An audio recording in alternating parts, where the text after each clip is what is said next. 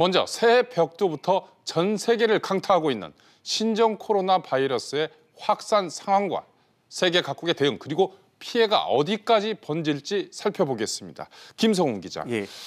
중국 우한에서 처음 시작돼 전 세계 공포를 몰고 오고 있는 신종 코로나 바이러스 감염증 이게 뭔지부터 짚어볼까요? 네, 코로나 바이러스는 왕관 모양의 돌기 때문에 라틴어로 왕관을 뜻하는 코로나, 코로나라는 이름이 붙었는데요. 네. 수백 명이 사망한 2003년 중증 급성 호흡기 증후군 사스와 네. 2015년 중동 호흡기 증후군 메르스도 코로나 바이러스의 일종입니다. 네. 이번에 중국 후베이성 우한시에서 발생한 코로나 바이러스는 신종인데요. 바이러스 잠복 기간이 최대 14일로 발열과 기침, 호흡곤란, 그리고 폐렴 증상을 일으킵니다. 그렇군요. 1월 30일 기준 이 신종 코로나 바이러스 감염 현황은 어떻습니까? 네, 지난해 12월 8일 중국 후베이성 우한시에서 첫 감염 환자가 나온 뒤 앞서 2003년 발생한 사스는 약 9개월 동안 5,300여 명의 어, 확진자를 낳았는데요. 신종 코로나 바이러스는 두 달 만에 이 기록을 갈아치웠습니다. 국내에서도 첫 확진자가 나온 뒤 의심 환자가 계속 늘고 있는 상황입니다. 네. 신종 코로나 바이러스는 일본과 태국 등 아시아뿐만 아니라 미국과 호주, 독일 그리고 아랍에밀레이트까지 국경을 넘어 급속도로 확산되고 있습니다. 박연신 기자. 이렇게 사태가 확산되는 동안 중국 당국 뭘 했습니까? 사스 때처럼 중국 당국이 뒤늦게 정보를 공개해서 어, 사태가 더 악화됐다 이런 비판도 있는데요. 네, 2003년 전 세계를 공포로 몰아넣은 사스 때 이 중국 정부는 감염 정보를 틀어막아 확산을 막을 골든 타임을 놓쳤다는 비판을 받았는데요. 그랬었죠. 이번에도 사스 사태의 악몽이 재현됐다는 평- 평가입니다. 구체적으로 이번에 중국 정부 어떻게 대응했나요? 네, 지난해 12월 8일 중국 우한에서 첫 확진자 환자가 발생했는데요. 확진자가 속출해도 축소 은폐했고 1월 18 일부터 확진자 수를 통합 발표했습니다. 중국 당국이 전망치로 전화, 진앙지로 추정한 화난 수산물 도세- 도매 시장도 진, 2주가 지난 후에 폐쇄했고 한 달이 지난 1월 23일에야 우한 봉쇄 조치를 취했는데요. 지난해 12월 30일부터 우한이 봉쇄되기 직전까지 500만 명이 해외로 빠져나갔습니다. 우리나라에도 6,400여 명이 입국한 것으로 추산되는데요. 그렇군요. 무증상자들도 입국 검역대를 통과한 것으로 드러나서 2차 피해 우려가 커지는 상황입니다. 큰일이군요. 사스나 메르스와 비교하면은 이 신종 코로나의 전파력은 어느 정도입니까? 네, 세계보건기구가 이 감염력을 수치로 나타낸 예비 재생산 지수라는 것이 있습니다. 세계보건기구가 감염자 한 명이 몇 명에게 바이러스를 옮기는지 전염력을 수치로 나타낸 건데요. 이 신종 코로나 바이러스는 이 수치가 1.4에서 2.5로 추정되고 있습니다. 네. 1인당 평균 4명인 사스보다 낮고 0.9명인 메르스보다 높은데요. 일부 중국, 중국 전문가들은 신종 코로나는 사스보다 교활하다고 말합니다. 증세가 뚜렷해서 격리가 쉬운 사스와 달리 환자 감별이 힘들어 확산 우려가 크다는 겁니다. 박 기자. 그렇다면 이 신종 코로나의 치사율 어느 정도입니까? 네, 신종 코로나 바이러스 치사율은 이 세계보건기구에 따르면 메르스가 34%로 가장 높고 사스는 9.6%, 신종 코로나 바이러스는 추정만 할 수 있는데 3% 안팎입니다. 네.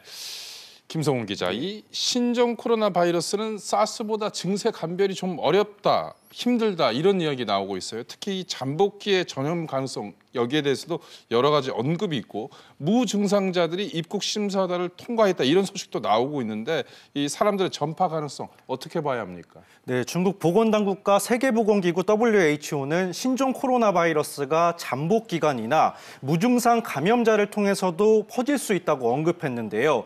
하지만 우리 정부 당국은 신중한 입장입니다.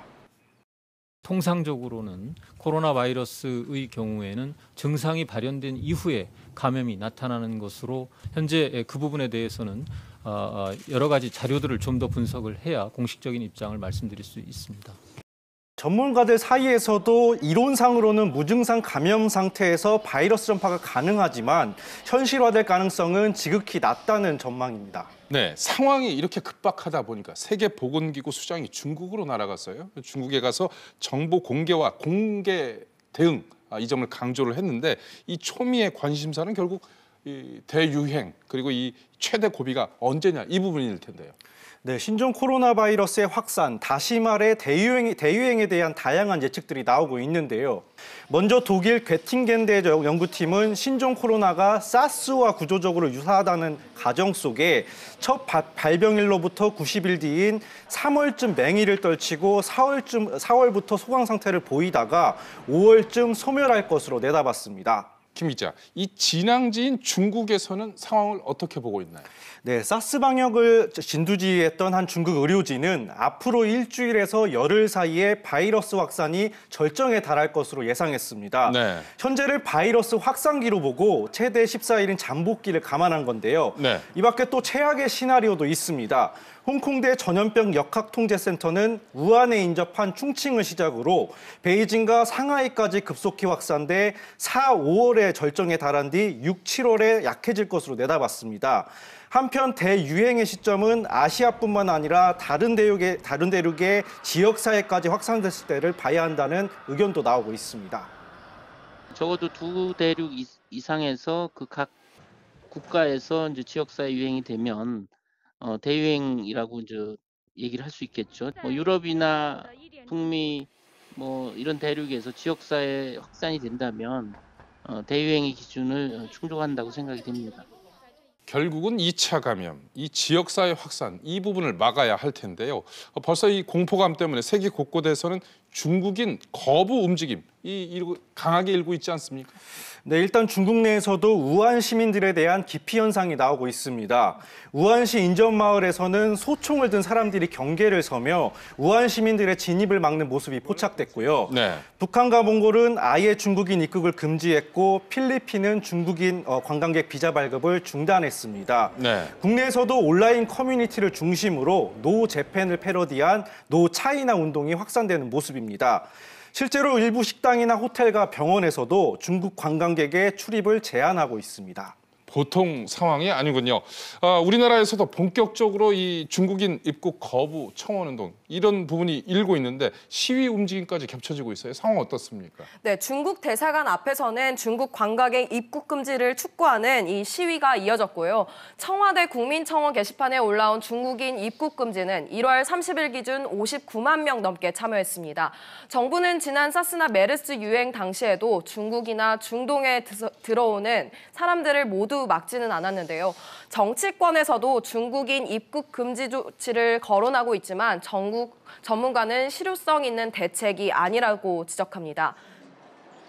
국경을 막게 되거나 이제 그 입국을 거절하게 되면 사람들이 숨어 들어가거든요. 환자들에서 숨어 들어가서 지역 사회 내에서 아예 확인이 안 되는 상황도 발생할 수 있어서 네, 현재는 실익이 없다고 생각하고 있습니다.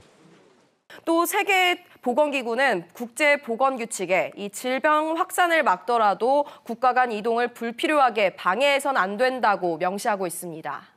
김성훈 기자, 이 상황에 따라서 좀 달라질 수는 있겠습니다만 입국 금지 자칫하면 이제 외교 문제가 될 수도 있는 상황이에요. 어, 이런 가운데 이 중국 시진핑 주석 신종 코로나와의 전쟁을 선포했죠.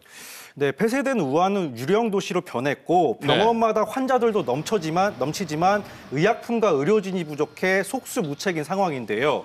뱅- 봉쇄에 지친 우한 시민들이 아파트 창문을 열고 서로를 격려하는 짠한 영상이 공개되기도 했습니다. 직접 보시겠습니다.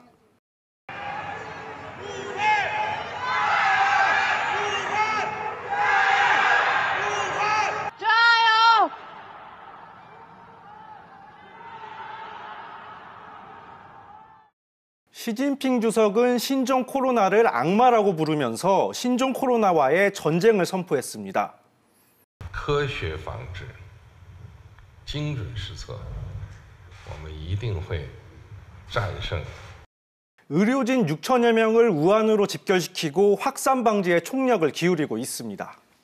박연신 기자, 이 세계 각국 이 자국민의 우한 탈출을 본격화하고 있죠. 네, 그렇습니다. 미국과 일본, 프랑스, 독일 등 주요 국가들은 이 자국민 수송 전세기를 우한에 급파했는데요. 러시아, 네덜란드 등- 등의 국가들도 자국민 철수 작업에 나섰고요. 우리 정부도 전세기를 투입해 우한 교민 가운데 무증상자를 우선 이송해 충남 아산과 충북 진천에 있는 공무원 교육시설에 2주간 격리 수용하기로 결정했습니다. 김성훈 기자, 이 일파만파로 번지고 있는 신종 코로나 공포 최대 관심사는 백신 개발이 될 텐데요. 언제쯤 백신 개발이 완료될 수 있을까요? 네, 신종 코로나 바이러스는 아직 특성이 명확하게 규명되지 않아서 치료 백신 개발도 더딘 상황입니다. 미국과 호주에서 개- 백신 개발에 나섰다는 소식이 있고요. 또 홍콩대 연구팀이 확진자로부터 추출한 바이러스로 백신 개발에 성공했다지만 아직 초기 단계입니다. 그렇군요. 임상 실험과 최종 개발까지 최소한 수개월에서 1년까지 시간이 걸리고 어, 어렵게 개발에 성공하더라도 바이러스가 변이하면 효과가 없을 가능성도 있습니다. 그래서 섣부른 기대는 하지 않는 게 낫다는 말도 나오고 있는데요. 네. 사스나 메르스도 아직 예방 백신이 없는 상황입니다. 네. 그래서 전문가들이 손 씻기나 기침 예절 같은 개인 위생과 2차 감염을 막기 위한 협력이 중요하다고 강조하고 있습니다.